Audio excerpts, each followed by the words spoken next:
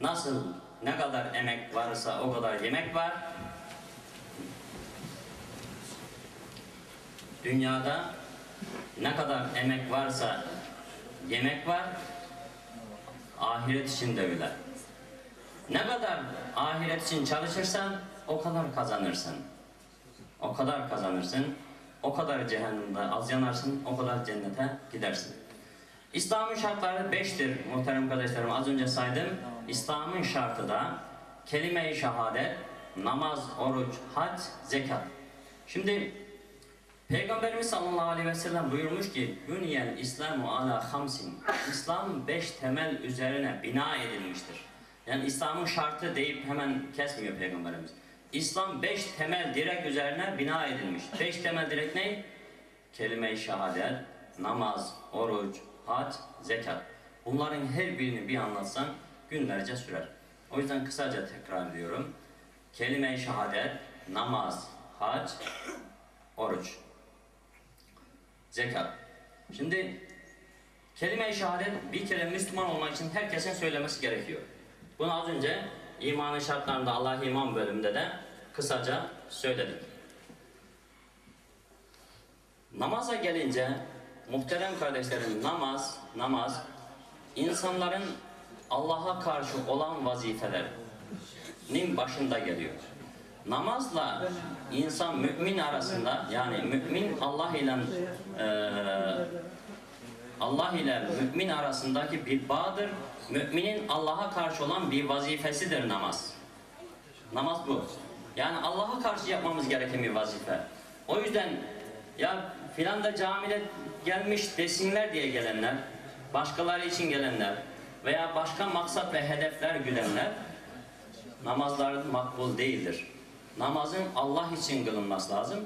Allahu Teala bizi yaratmış, yüzlerce, binlerce nimet vermiş, yüzlerce ve binlerce nimet vermiş ve buna karşılık bizden sadece namaz istemiş. 24 saat 24 saat ömür vermiş bir günde bir gününü bana ayıracak, bir saatini bana ayıracaksın demiş. Beş vakit namaz bir saatte hallolur toplam olarak. Bunları unutmayalım. Oruç yine Allahu Teala'ya karşı yapmış olduğumuz bir ibadet aç kalarak Allahu Teala'nın istemiş olduğu yapmış olduğumuz bir ibadet.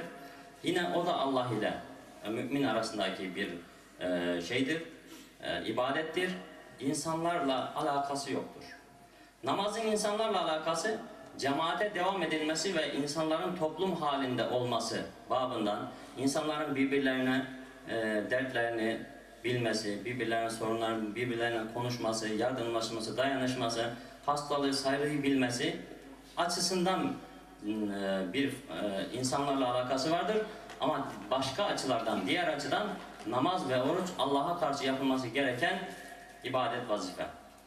Şimdi diğer bir İslam'ın şartı neydi? Zekat. Zekata gelince zekata bu malla yapılan bir ibadet ve diğer insanlarla alakalı. Bizim en çok en çok ihmal ettiğimiz husus zekat. Müslümanın belli olacağı ibadet de zekat. Çünkü namaz bedava, oruç bedava. Yani onlarda birçok bir zahmet yok. Kendinden bir şey koparmıyorsun, vermiyorsun. Ama zekata gelince cebinden çıkarıp bir şey vereceksin. Ha, o zor iş işte. Onun için, onun için zor zekat derler atalarım. Zor zekat. Ha, zekat biraz zor geliyor insana da. Ama insanın Müslümanlığı burada belli olur. Yılda bir hesaplayacaksın, maliyenin zekatını fakire fukaraya vereceksin. Ondan sonra gazadan, belalardan, musibetlerden emin bir hayat yaşayacaksın. Bir de hac var. Hac da hem parayla, malla yapılan hem de bedenle yapılan bir ibadet. Bu da e, allah Teala'nın bizden istemiş olduğu bir ibadet. Bir ibadet. Çok zahmetli bir ibadet, koşturmacalı bir ibadet. Ee, Allahu Teala cümlemize onu nasip eylesin. Ee, bu sene de hacca giden gelenler oldu. Rabbül Alemin bizlere de nasip eylesin. Peygamberimiz hac hususunda mebrur bir hac yapan annesinden doğmuş gibi günahlarından affolur buyuruyor. Yani kabul olmuş hac yapan bir kimse annesinden doğmuş gibi günahlarından affolur. Ee, şimdi muhterem kardeşlerim, başa müsaade var mı? Ben e, internette Yaren ile ilgili bir araştırma yapıyordum. Ondan 5-10 dakikada geciktim. Okuyayım mı? Müsaade var mı? Şimdi İslam'ın şartlarını ve imanın şartlarını bugün saymış olduk. Yani zaruret-i diniyeden eee, bunları herkes evlerinde bir tekrar etsin.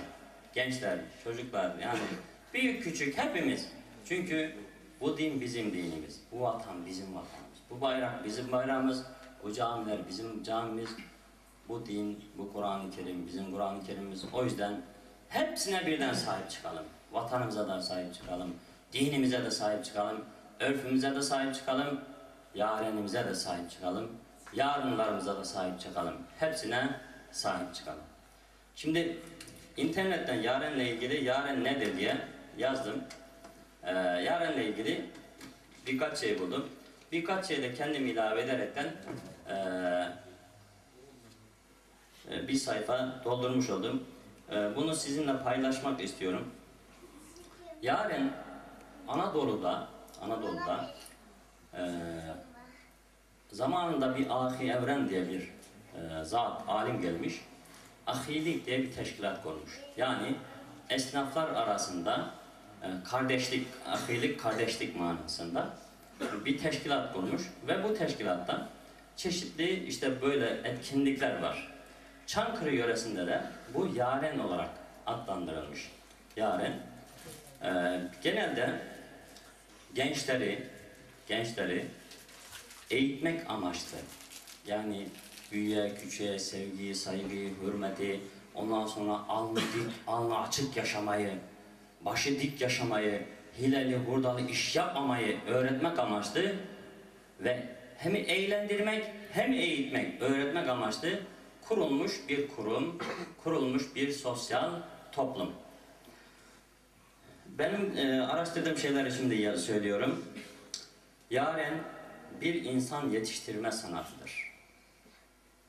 Yaren insanı hayata hazırlama, toplumsal düzeni ve güvenliği sağlama, halk müziği, halk mutfağı, halk tiyatrosu, halk edebiyatı gibi ulusal kültür değerlerin yaşatma, değerlerini yaşatma ve yeni kuşaklara aktarma görevlerini yüzyıllardır yerine getirmiş toplumsal bir kurumdur. Yaren bencilleşmiş dünyada birbirine kenetlenmiş olarak toplu halde yaşama, toplu halde mutlu olma sanatıdır.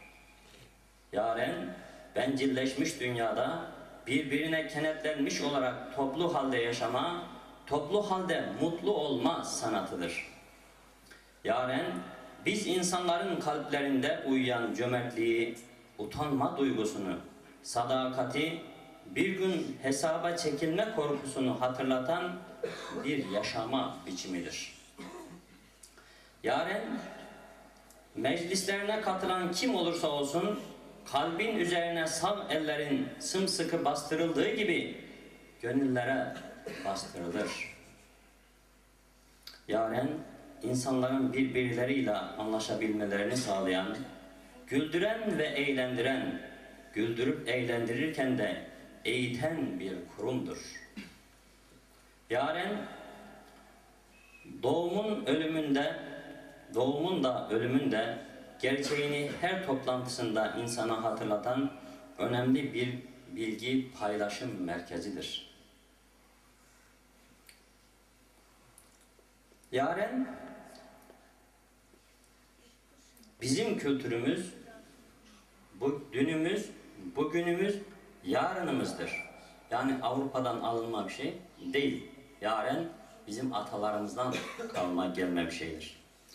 Yaren insanların birbirlerinin kuyusunu kazdığı günümüzde birbirine destek olmanın, başkalarına zarar vermemenin, çalmamanın, bencil olmamanın diğer adıdır.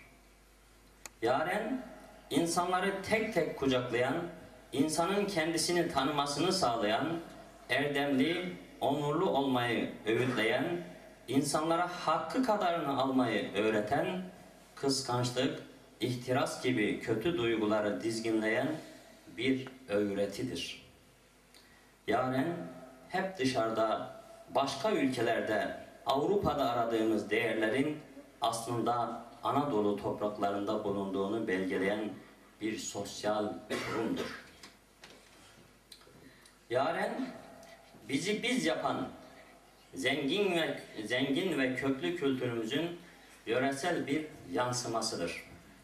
Yaren bu vatanın evlatlarının büyüklere saygıyı, hürmeti, küçüklere sevgiyi ve merhameti öğrendiği bir meclistir. Yaren insanı vali, amir, memur yapan bir kurum değildir. İnsanı adam yapan bir kurumdur.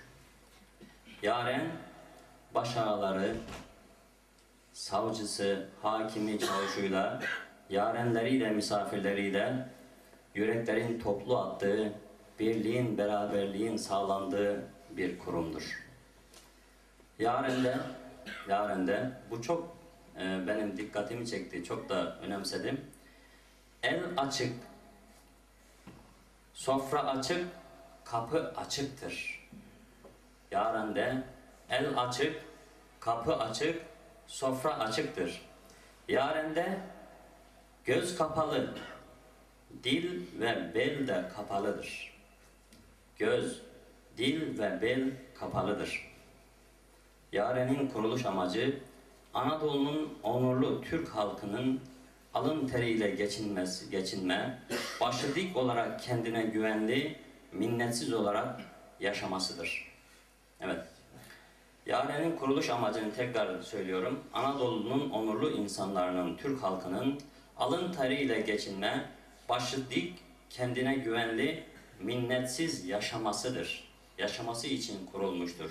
Yani o doğrultuda gençleri eğitmek, alın teriyle kazanmasını sağlamak, çalma, çırpma la değil. O yüzden şimdi ş- e, şunu istersen